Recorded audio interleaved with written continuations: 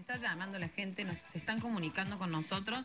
A la miércoles la consigna de si metiste la pata, están todos con este tema.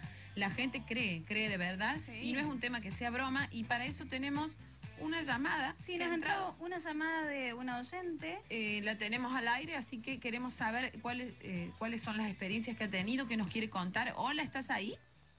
Hola, sí. ¿Vos sos Coqui? Sí, mi amor, ¿con quién hablo? Con Estela. Hola Mirá, Estela, ¿cómo estás? Te habla Coqui, aquí estoy al aire, estoy con Hernando Domínguez, eh, con Flavia, Sí. que me acompañan aquí en, en- en el panel, la productora. Cuéntanos, Sí. Estela. Eh, eh, me pasa lo mismo que a vos te pasa. Yo sé que eh, vos tenés algo especial, que vos tenés un sexto sentido. Como una Eh, cosa energética, como- ¿verdad? Como, sí, sí, sí. No, vos ya lo traes. Ya lo traes de, de tu mamá o de un familiar o de tu abuela. sí. ¿Me entendés? Eso ya lo traes vos.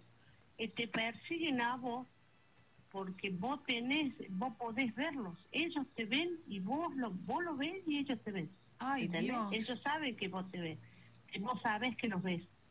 A mí se me presentan cosas rarísimas que yo no sé a quién contárselos, ¿me entendés? Claro, porque a veces te toma por loca y una atrás, ¿me dice, se entendés? me van a reír. Claro. ¿Cómo que? ¿Qué, qué te ha pasado, Estela? ¿Nos puedes contar alguna experiencia? Bueno, vos sabés que había fallecido una, vendría a ser la, la, la abuela del novio de mi hija, Sí. yerno ahora, ¿viste? Sí, Y vos sabés que él se viene muy acongojado, le digo, bueno, acostate un rato eh, a dormir la siesta para ver si le pasaba eso. Entonces cuando yo me voy a mi pieza, no había nada de viento, podés creer que sentía el ruido, ¿viste? Cuando se siente el ruido de los pinos, así el, el sonido del viento Ajá. por el pasillo. Y yo estaba viendo qué es lo que era ese ruido, ¿viste? E- Era la siesta, era el día. Y se empezó a levantar el trapo de piso que era nuevo ¿Cómo? en, en la entrada, en la entrada de la pieza donde el chico estaba durmiendo. Y se empezó a levantar, viste, como que alguien lo levantaba con la mano de una parte y se dio vuelta totalmente para el otro lado y se quedó el trapo de piso. El, trapo de piso estirado. No ¿Sabes qué? Yo, no, vos no sabés que a mí me dio un, un calor así porque digo yo, ¿qué fue eso? Resulta que era el espíritu de esa señora que lo vino Mm. a saludar y salió para la Ay, qué otra piola. puerta. Vos sabés que No, Estela, no. sí, te creo, porque además hace poco en las redes se viralizó un video de donde están eh, en un cumpleaños, eh, se ve que no sé si había fallecido quién, eh, hacía poco, Sí. parece un niño en la fiesta, y, mm, Sí. eh, perdón, algún pariente de quienes estaban en la fiesta, y un globo solo hacía movimientos que por supuesto no eran movimientos de un globo normal, porque iba Sí, y sí. se posaba y seguía a una de las criaturas que estaba en la fiesta. Y la verdad que todos congojados, o sea, filmaban y no podían creerlo. Eh, eh, por lo general, bueno, sí, suelen mover, mover objetos.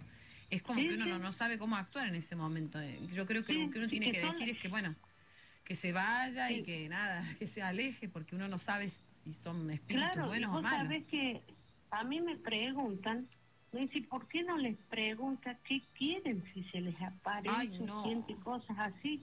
Le digo, no, porque pueden ser o del otro lado, ¿me entendés? Dicen que nunca hay que hablar, que nunca hay que preguntar, que directamente Claro. hay que como que obviarlo y como que fluya porque por lo general son Claro. bueno cosas pendientes que les quedan aquí en la tierra y se abren puertas que uno después no puede cerrar.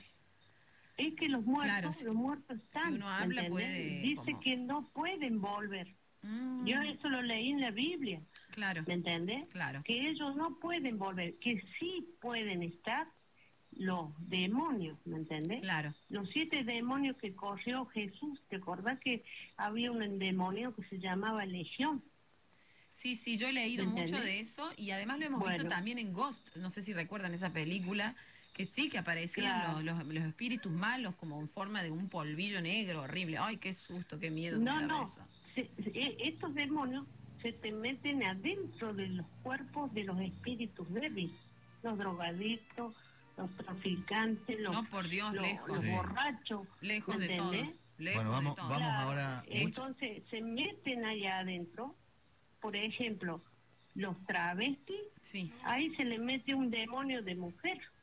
Y, Bueno. la, y la lesbiana se mete un demonio Claro. de varón. Bueno, cada uno cree lo que... Hay que tratar de, de- de- de evitar este, esos tipos de contactos. Estela, muchísimas gracias por contactarnos.